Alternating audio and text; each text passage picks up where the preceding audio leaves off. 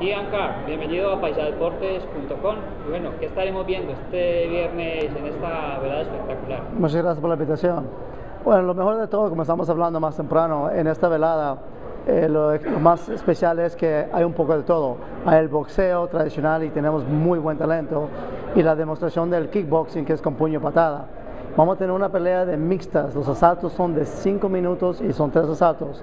Se va a ver boxeo, kickboxing, puño, patada, codo, tumbadas de judo, tumbadas de lucha y luego en el piso se puede pegar, se puede controlar el cuerpo, se puede hacer uh, llaves de brazo para manipular y que se rinda el man o, o ficciones de cuello o pierna. Entonces vamos a ver un poco de todo con los atletas de los mejores que hay en el mundo.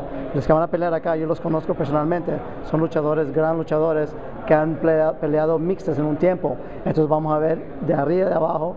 El árbitro va a controlar la acción, obviamente, pero van a ver lo mejor de todos los deportes en una pelea. Ese es el mixta que está ganando el mundo. En 10 años sobrepasó todos, porque se ve de todos, atletas completos.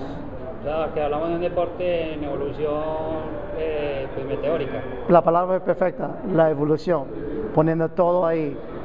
Lo mejor de todo es, imagínate todos los combates del mundo que han visto de mano a mano, de los de Japón que tiran, los que quebran, los que um, rompen brazos, los que pegan, los que patean. Bueno, en mixtas con obviamente reglas de caballería, que no se permite sacar los ojos, pegar abajo, atrás de la cabeza. Es muy deportivo y muy caballero. Saber las mejores técnicas, los mejores atletas, demostrando por qué el mixta es el número uno deporte del mundo.